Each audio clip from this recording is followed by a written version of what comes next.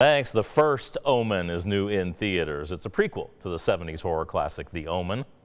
There was an Omen before The Omen. Bad things will start to happen around her. Evil things.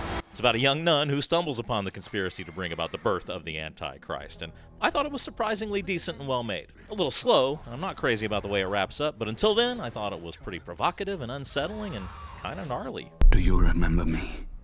Do you even know my mother's name? Now, also new in theaters, you got Monkey Man, an action movie starring Dev Patel, who also makes his directorial debut, about a boxer in India out for bloody revenge. Reviews are really good. While to very select theaters comes the animated import Epic Tales about animal pals in ancient Greece. From India, a rom com called The Family Star. And Wicked Little Letters, a British comedy about a tiny community in the 20s who are rocked by a series of vulgar anonymous letters, with Olivia Colman and Jessie Buckley.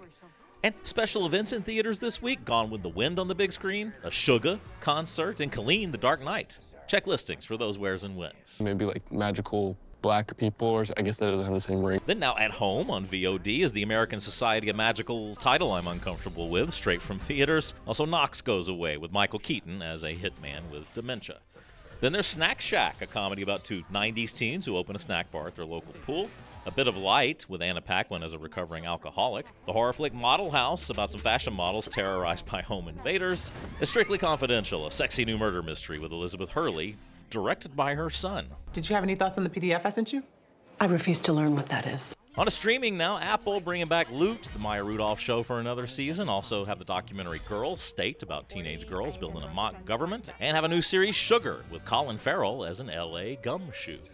Then Star Trek Discovery begins a final season on Paramount Plus. Are you eating a bone? Hulu has new American Horror Story, the new reality spin-off Vanderpump Villa, and the British comedy Dinosaur about an engagement that comes between two sisters. Change does not come unless you grab it by the hand. Then there's a new Starz series, Mary and George, with Julianne Moore about a scheming countess and her son. Peacock adds Night Swim, the haunted swimming pool movie from theaters. Disney Plus finally adds the animated Wish, and Max, the Oscar winning Holocaust movie, The Zone of Interest. Everyday regular sounds, I turn into rhythm. Then on to Amazon, who debut the movie Musica, about a man with a musical mind with Camila Mendes and Rudy Mancuso. And finally, Netflix has Scoop with Gillian Anderson.